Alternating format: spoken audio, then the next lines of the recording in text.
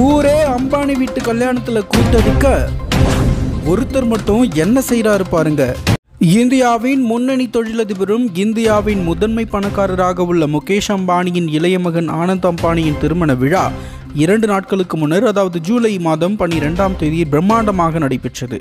இந்த திருமணத்தில் கலந்து கொள்ள இந்தியா மட்டுமில்லாமல் வெளிநாடுகளிலிருந்தும் பிரபலங்கள் வரவழைக்கப்பட்டன கடந்த ஆறு மாதங்களாக இந்த திருமண கொண்டாட்டங்கள் நடைபெற்று வருகிறது. இதற்காக அம்பானி குடும்பத்தினர் பல கோடிகளை செலவு செய்துள்ளதாக கூறப்படுகிறது. மணமக்கள் ஆனந்த் அம்பானி ராதிகா மெர்ச்சன் திருமண விழா தொடர்பான வீடியோக்களும் இணையத்தை ஆக்கிரமித்தபடி உள்ளது. திரை பிரபலங்கள் தொழிலதிபர்கள் விளையாட்டு வீரர்கள் மட்டுமில்லாமல் அரசியல் தலைவர்களும் திருமண விழாவில் கலந்து கொண்டனர்.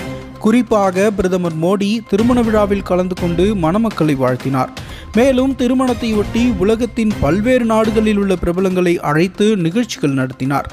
இந்த திருமண விழாவில் அமிதாப் பச்சன் ஷாருக் கான் அமீர் கான் ரன்பீர் கபூர் ஆலியா பட் கிருத்திக் ரோஷன் அனன்யா பாண்டே ஷனயா கபூர் ஐஸ்வர்யா ராய் பிரியங்கா சோப்ரா வருண் தவான் ரன்வீர் சிங் அனில் கபூர் மற்றும் பாலிவுட் பிரபலங்கள் பலரும் கலந்து கொண்டனர்.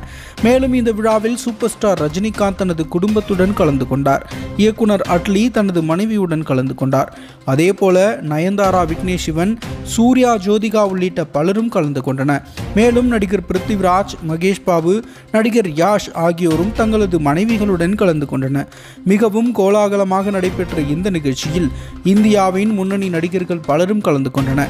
இப்படி இந்தியாவின் முக்கியமான பிரபலங்கள் அனைவரும் அம்பானி வீட்டு சாப்பாட்டை பதம் பார்க்க ஒருவர் மட்டும் உள்ளூர் ஓட்டலில் சாப்பாட்டுக்காக வெயிட்டிங் என்ற வசனத்துடன் ராகுல் காந்தியின் இந்த வீடியோ இணையதளத்தில் வைரலாகி வருகிறது.